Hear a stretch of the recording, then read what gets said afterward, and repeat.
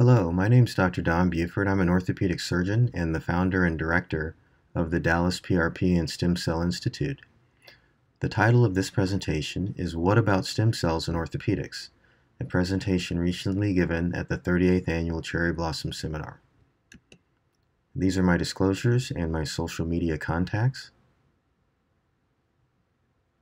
So I want to first define the talk.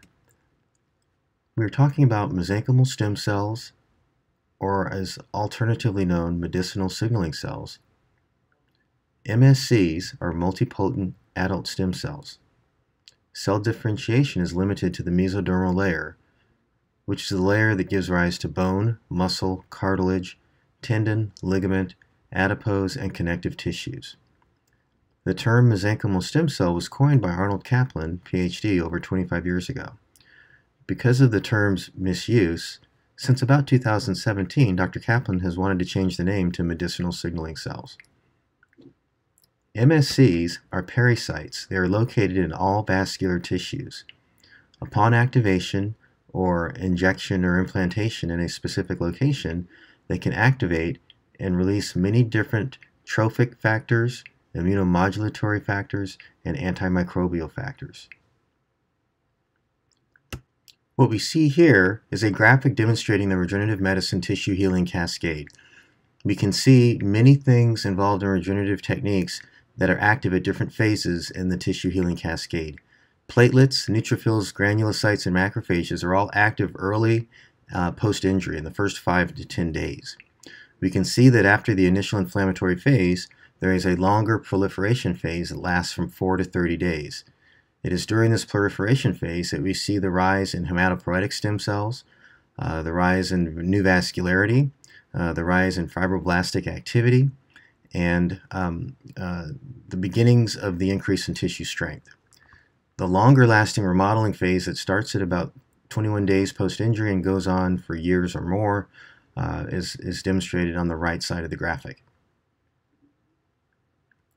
So let's get to some common questions because we have to debunk some myths before we get to where we are with the current state of science. Question number one, are there MSCs in commercially available birth tissue products? By birth tissue products, I'm referring specifically to amniotic fluid, umbilical cord blood, placental tissues, and Wharton's jelly. The short answer is no. There are not MSCs that are functional or alive at the time of delivery in a doctor's office with these commercially sold products. I often get a comment from my colleagues that say, but Donnie, my rep told me that there were, and here you have to pick your number depending on the email or the ad, that there were 2, 4, 6 million, 8 million, or 10 million MSCs per cc in this bottle. And additionally, I was told I can shock thaw them out in 15 minutes or less. Well, sadly, none of this is true. There's been several recent publications from very well-known institutions and researchers showing that these claims are simply not true. Uh, back at the 2015 Interventional Orthopedic Foundation meeting, there is a very well done poster presentation uh, done by Dustin Berger, Nicolette Lyons, and Nevin Steinmetz. They examined multiple amniotic products and they found no living functional stem cells in these products, and the link is given at the bottom of this slide. Here we see a publication from this year, 2019, co-authored by Lisa Fortier, a well-known orthobiologic researcher and veterinarian, and Dr. Brian Cole, a well-known orthopedic surgeon interested in orthobiologics. And this was presented at the Orthopedic Research Society annual meeting. Uh, their group tested nine amnion products from four different manufacturers, and not only did they find no living stem cells in these products, they found very low growth factor levels. Uh, this is important because we're often uh, told as clinicians that these products can be an alternative source of growth factors uh, for, for doctors or for situations where patients um, need additional growth factors and autologous sources like platelet-rich plasma or bone marrow are not available. Uh, this has been shown to, to not be true now in multiple publications. Uh, here's a link at the bottom to Dr. Fortier's interview regarding her uh, recent publication, and you can see an abstract listed on the bottom right. This is another recent 2019 publication authored by Alberto Panero, uh, Dr. Alan Hirahara, and Wyatt Anderson. Uh, this was published in the American Journal of Sports Medicine, and they tested multiple amniotic fluid products again. Uh, they invited seven companies, and only three companies sent product. Four companies declined testing. What they found was that these products did not have stem cells. It was also very important that they tested fresh amniotic fluid, and they even found that fresh amniotic fluid did not contain significant stem cells as defined uh, by current international standards. At the same time, as a control, they tested bone marrow aspirate, and they did find that bone marrow aspirate did have living functional stem cells that could grow in culture and meet all of the other criteria. In 2019, there was a consensus statement co-authored by multiple uh, researchers in a multidisciplinary approach. Um, you can see the list of uh, initial signers on the left of this slide. Uh, the ultimate um, consensus statement is two pages long, but the final conclusion is listed here in yellow. The aggressive marketing approach currently used by practitioners and clinics regarding various birth tissue products as safe and effective stem cell therapy is just not supported by the existing scientific literature. So please, let's all stop that. Let's stop selling it and making those claims, and let's stop using it and telling patients that these birth tissue products have living functional stem cells after we thaw them out in the office. So where do we really have science for use of stem cells in orthopedics?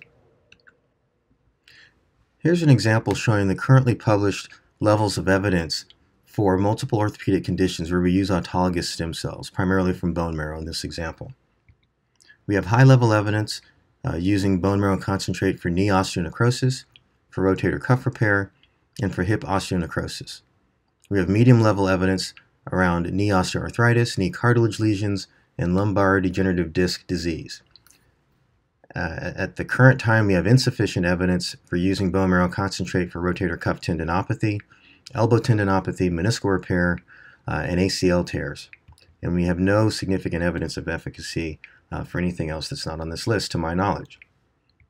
Here's an example of a study that was published in 2018. And this is a study that was titled Subchondral Stem Cell Therapy versus Contralateral Total Knee Arthroplasty for Osteoarthritis following secondary osteonecrosis of the knee. Uh, this was a very interesting, uh, groundbreaking study with a very long follow-up uh, published by the lead author Philippe Hernigou, who's an orthopedic surgeon based in Paris, France. Uh, in this particular study, there were 30 uh, patients. The average age was 28. And these patients all had uh, just horrible secondary knee osteonecrosis uh, from steroid use. And so here you can see a typical uh, X-ray and MRI scan um, in the before pictures. Uh, what Dr. Hernigou did in this trial was he did a total knee replacement in one knee, and at the same time on the opposite knee, he did a bone marrow concentrate procedure instead of a total knee replacement.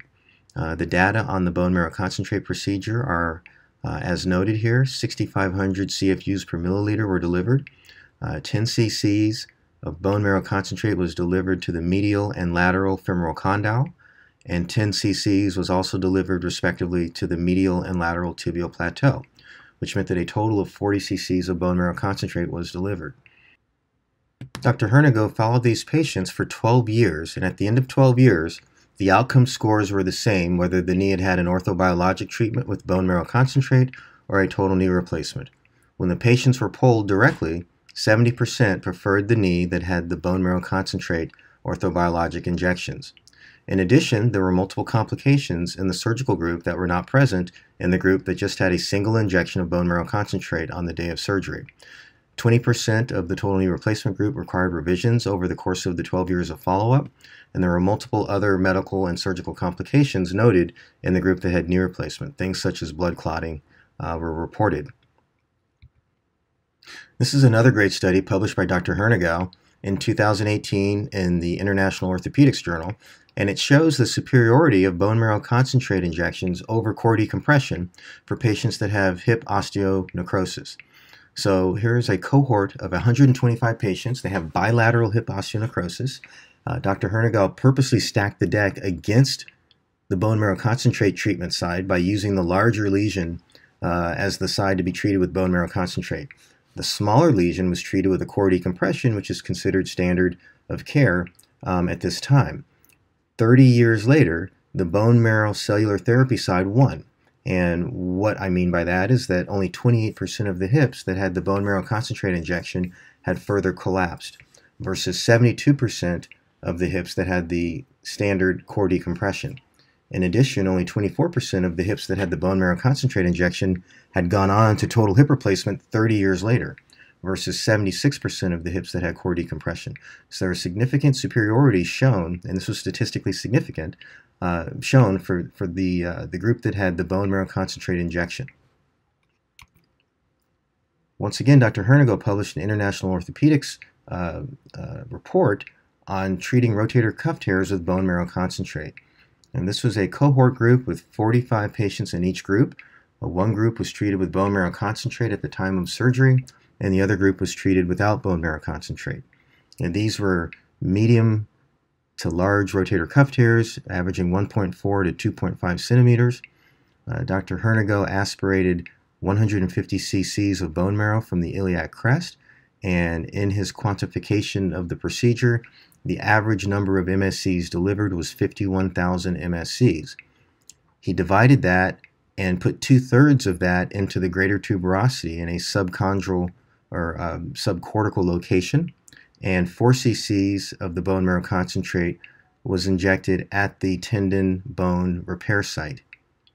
The follow up period was 10 years long, and at six months, he noted that 100% of the rotator cuff repairs were healed in the bone marrow concentrate group versus 67% in the control group. At the 10 year follow up mark, 87% of the repairs were still intact in the group that were augmented with bone marrow concentrate. This was more than double, or, or nearly double, the number that were intact at 10 years in the group that did not have bone marrow concentrate augmentation. The single most important variable that Dr. Hernigou discovered in this study was the number of MSCs that were delivered. Here's a 2014 study uh, published by Dr. Kim and others. Uh, the title of the study is The Clinical Outcome of Autologous Bone Marrow Aspirate Injection in Degenerative Arthritis of the Knee. This is a relatively large study with 75 knees treated with a single intra-articular bone marrow concentrate injection. Average age was 60. You can see the spread in the uh, grade of arthritis in the knees. Most knees were in the middle grades of KL2 or 3. These patients reported a 50% pain reduction at one year and an increase in their IKDC outcome measures from 38 to 66. So here we have a statistically significant decrease in pain and increase in function from a single intra-articular injection of bone marrow concentrate. Here's a 2015 study uh, the lead author is Kristen Oliver, and the title is Clinical Outcome of Bone Marrow Concentrate in Knee Osteoarthritis. Again, a relatively large study with 70 knees treated with a single injection of bone marrow concentrate. 54% uh, of the knees were either uh, KL2 or KL3, and one third of the knees approximately were KL4, more significant arthritic changes. Uh, she used the Arthrex Angel to make bone marrow concentrate. Uh, she noted that all KOOS knee outcome scores were improved, uh, most patients had data out to six months, which admittedly is a relatively short follow-up time, but she did have 11 patients in this study with data out to one year, and she reported no significant drop-off in outcome measures in those 11 patients either. Uh, this is a 2014 study in the Biomedical Research International Journal. Uh, the lead author is Christopher Centeno. Uh, he published this along with John Pitts and, and some other colleagues. Uh, in this study, 616 knees were treated with a mixture of bone marrow concentrate, platelet-rich plasma, and platelet lysate. Uh, the follow-up averaged 17 months, and what they noted was that the lower extremity functional scores increased uh, by 8, and that the pain scores reported by patients dropped uh, nearly in half. So here's a large study. Uh, it's not a single orthobiologic study, so it's hard to have a single conclusion about bone marrow concentrate, but it is additional evidence that in a large number of patients, we can go nearly a year and a half with significant decrease in pain and increase in function with a single intra-articular injection. Now here's a 2018 study. Uh, this is a follow-up study published by Kristen Oliver. Uh, this was published in the Journal of Arthroplasty. Uh, we now have 254 knees that she's treated with bone marrow concentrate. Uh, the average follow-up is now two years. And what she noted in this study was that the WOMAC functional outcomes increased by 8 and that these patients' pain scores dropped from an average of 4.8 to 2.3. So 50% reduction in pain that was durable out to two years. So additional evidence that a single intra-articular injection of bone marrow concentrate can have some clinical efficacy for knee osteoarthritis. What about the hip? Well, here's a study published by uh, Centeno and Pitts and, and uh, their colleagues. And this was published in Stem Cell Research and Therapy in 2014. In this study, 216 hips were treated with a combination of BMC, PRP, and platelet lysate. The average follow-up is nine months. Uh, what they noted was a 30% improvement in the patient-reported SANE score, and they also reported functional outcome measures that improved. Uh, the Oxford hip score improved six points, and this was noted um, at follow-up that was just shy of a year. What about the lumbar disc, where there's multiple longitudinal studies looking at injection of autologous bone marrow concentrate into the lumbar disc for discogenic pain. Uh, the authors on these studies are Ken Pettine, Matthew Murphy, uh, Richard Suzuki, and Ted Sands. And what they noted in, in sequential uh, publications was that these patients had durable outcomes out to three years, and now there's been a follow-on study going out to five years showing that injecting the disc with autologous bone marrow concentrate can be a treatment that results in significant pain reduction and even MRI improvement in the uh, disc appearance. So some closing thoughts. Uh, stem cell therapy is based on established human biology. Uh, birth tissue stem cells as sold and delivered in the United States are scams. I would venture a guess that probably 75% of the patients in this country that have been uh, sold a stem cell therapy have not really had living functional stem cells injected. And I say that because of the incredible number of chiropractor clinics and non musculoskeletal specialists delivering patients um, products that are frozen, shipped to the doctor's office, and thawed out in very quick fashion in a process almost certainly guaranteed to kill any cells if there were any uh, in those vials in the first place. So, my recommendation to all of us is to use autograft sources of stem cells, either bone marrow or adipose. Uh, if uh, someone is still choosing adipose, we have to be cognizant of the FDA regulations, and we have to remember that in the United States, we aren't allowed to make stromal vascular fraction or to uh, culture cells um, because of FDA restrictions. Continuing to translate in vitro and animal results to humans will take time, so I encourage all of us that are interested in these treatments clinically to use registries and to record all the variables. Thank you very much for your time.